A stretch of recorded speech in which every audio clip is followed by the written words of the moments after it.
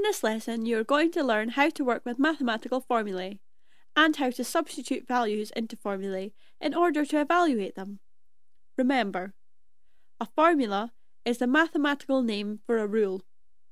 The word formulae is the plural of formula.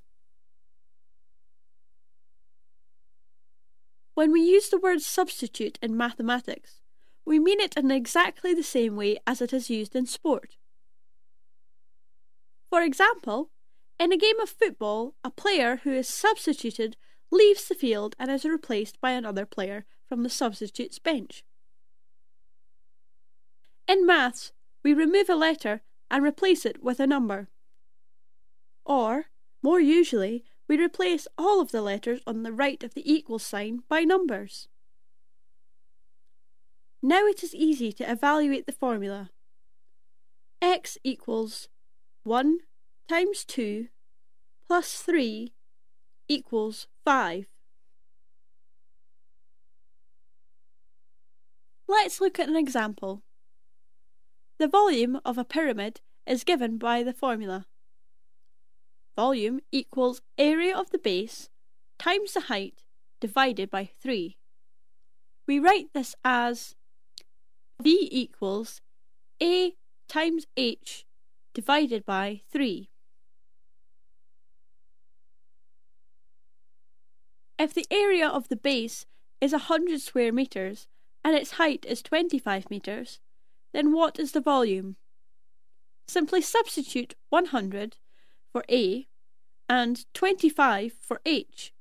So volume equals 100 times 25 divided by 3, which is 833.33 cubic metres.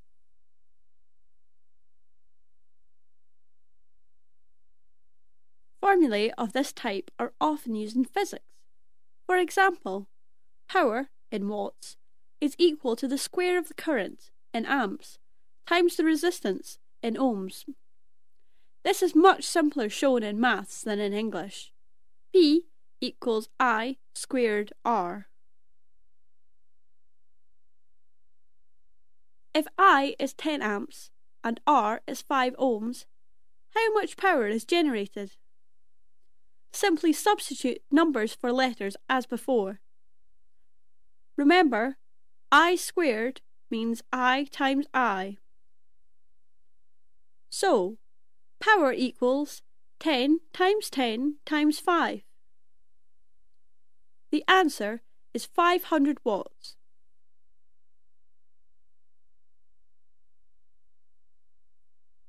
Substituting into formulae with symbols instead of words is quite simple. Simply replace the letters by the numbers that you are given in the question and work out the answer.